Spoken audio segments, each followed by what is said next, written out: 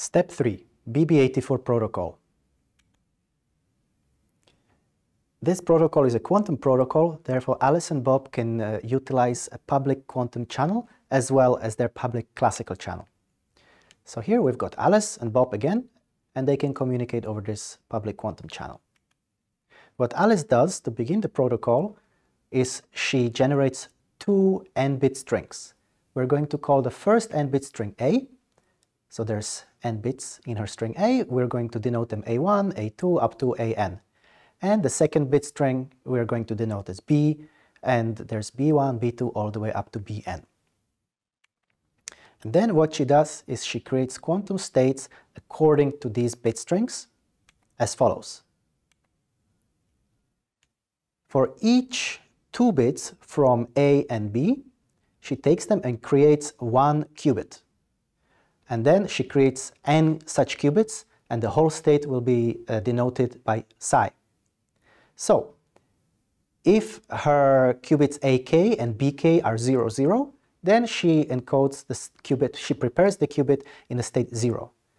If AK and BK are 1, 0, then she prepares state 1. Similarly, if they are 0, 1, she prepares state uh, plus, and if they are 1, 1, she prepares the state minus. So we can see that the bit coming from the bit string B determines the basis of uh, Alice's encoding. If it's 0, as we can see in both of these cases here and here, she uh, prepares the qubit in the Z basis. If it's 1, as we see in this case and in this case, then she prepares the qubits in the X basis. And AK then uh, chooses which state from the basis she prepares.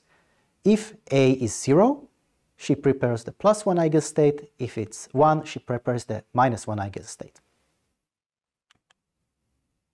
Notice that these states are not orthogonal. For example, if we take the inner product between psi 0, 0 and psi 1, 0, uh, psi 0, 1, like here, we see that they are not orthogonal, meaning that their inner product is non-zero.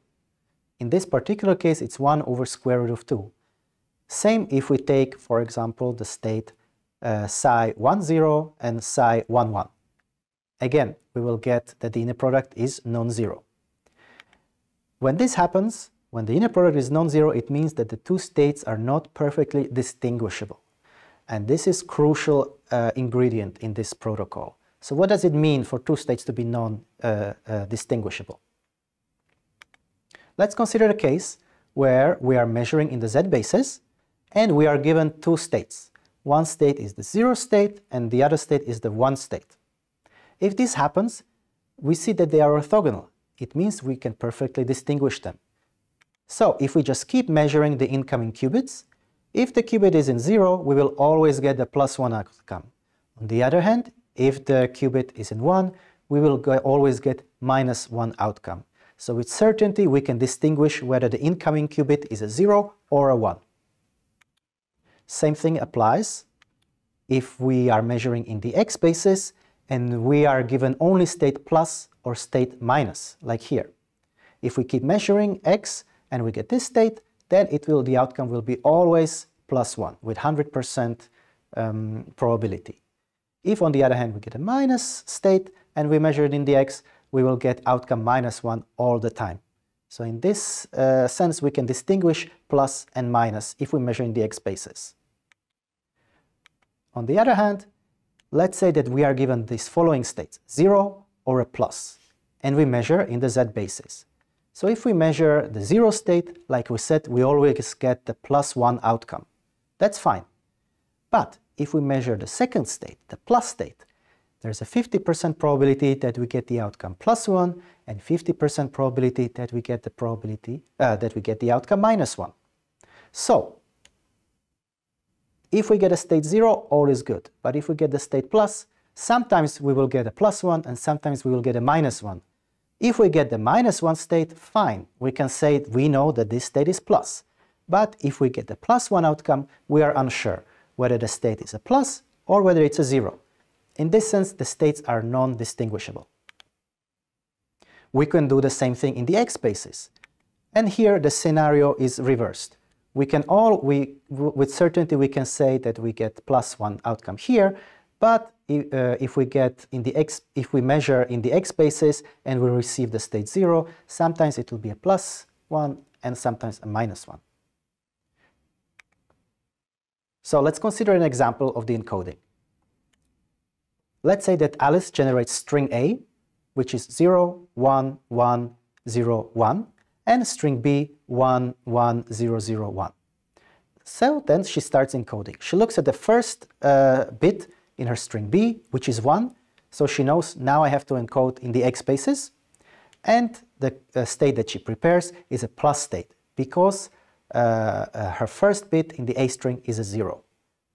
So that's her first qubit that she prepares. The second qubit, she looks at uh, the second bit in her string B, which is again 1. So again, she knows she has to prepare a state from the x basis, and uh, the state uh, is given by this uh, second bit in string A, which is 1. Therefore, she prepares the state minus. And then she go goes on and on until she prepares all n qubits. What she does then is she sends these qubits to Bob over the public uh, quantum channel. Now let's consider what Bob knows at this time. He actually doesn't know what these states are because Alice did not share the secret uh, string B containing information about the uh, preparation basis with anybody. She kept it secret. Therefore, all Bob knows is that he's receiving qubits and they can be uh, any of the four possible states, 0, 1, plus, minus. But what he does, he goes on anyway and he creates his own uh, random bit string, which we are going to denote as uh, B prime. And again, because uh, he's expecting n qubits, he generates n uh, bits, B1 prime, B2 prime, um, all the way until Bn prime. And what he then does, he just measures in the basis given by this uh, um, bit string.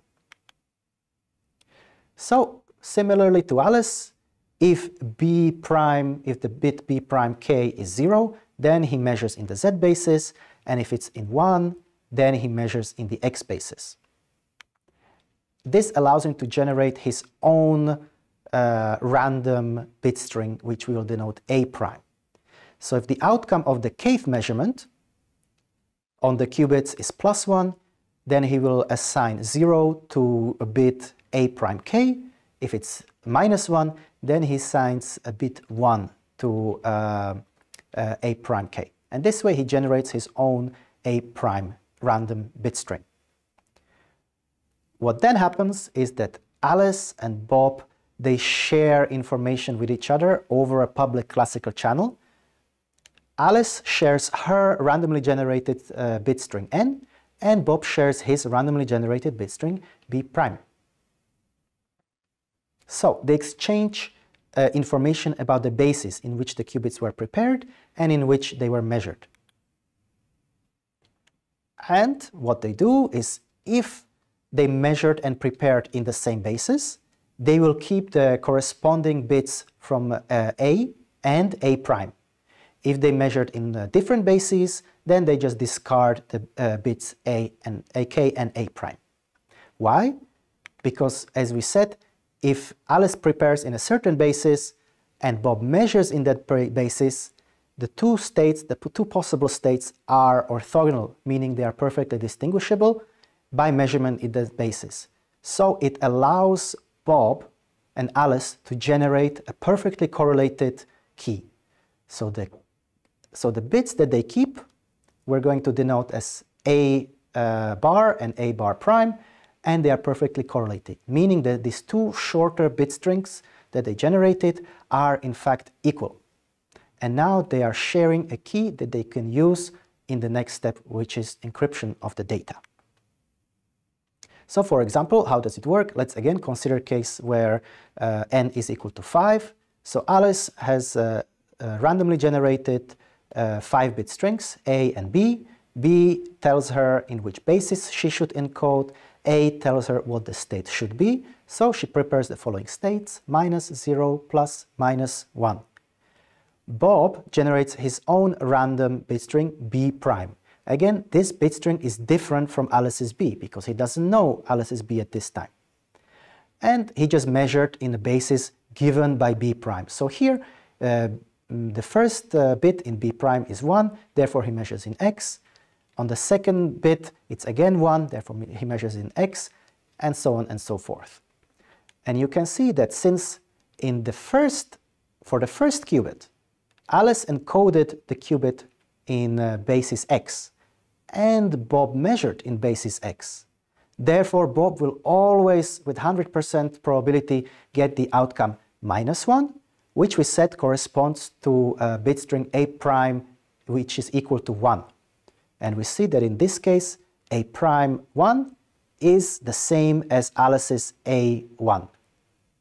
On the other hand, in this, for the second qubit, Alice prepared the qubit in the Z basis.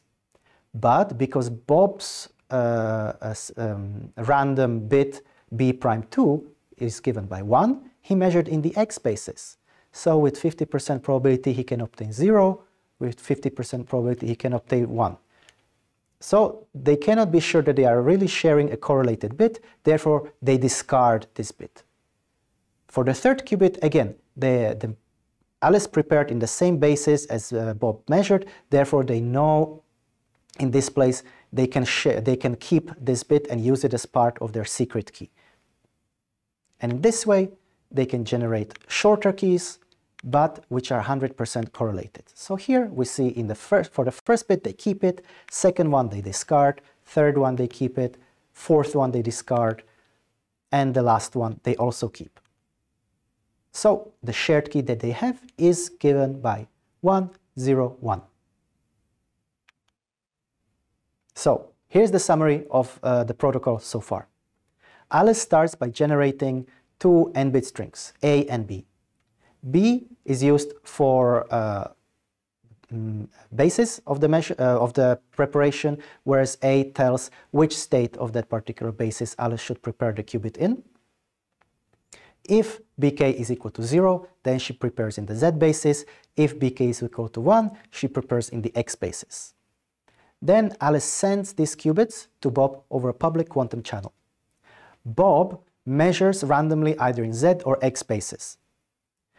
After the measurements are completed and only after that, they are allowed to share the information about the preparation basis and the measurement basis. And they keep the uh, uh, bits only where they prepared and measured in the same basis.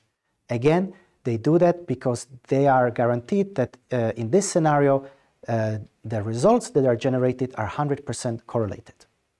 And whatever is left uh, of the key, they use as a secret key for uh, encoding and decoding their um, messages. Now, so far, we have only considered the ideal scenario where there was no eavesdropper. Now, let's say that somebody is listening to both the public classical channel, but also the public quantum channel. So we are going to consider the effect of an eavesdropper, which we are, who we are going to name Eve, and see uh, what effect that has on the protocol and how the protocol can actually discover the presence of such an eavesdropper.